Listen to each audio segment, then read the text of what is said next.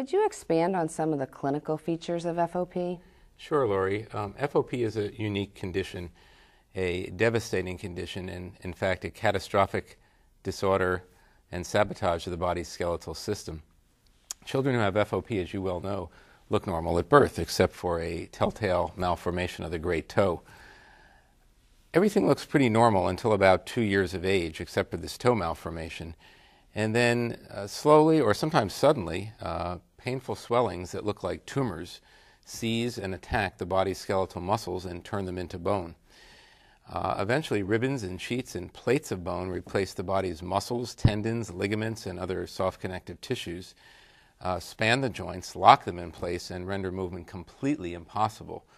Uh, and any attempt to remove this extra bone leads to, uh, leads to explosive new episodes of bone growth. And one of the most uh, uh, insightful things about FOP and very important clues actually that's helping us in the laboratory is that uh, very minimal trauma, sometimes bumps and bruises, uh, preschool immunizations, uh, injections into the jaw for dental work, and very often even viruses will trigger, will trigger new episodes of FOP. Now, the common theme for all these, of course, is, uh, is injury and inflammation, the body's injury and inflammation system. And this is a very, very important clue that, uh, that told us that uh, that not only is there a gene responsible for FOP, but there's very likely a, a, an important inflammatory and injury type trigger uh, that lets these new episodes of explosive new bone growth occur. These are, in fact, some of the most important clues that we then take back to the laboratory uh, and that uh, Eileen and Dr. Dr. Shore and the group use in the laboratory to, uh, to design and to, to, to design an FOP mouse that will help us test new drugs. Thank you. One, one of the um, things that we've learned about FOP is that it's a disease of uh, bone formation.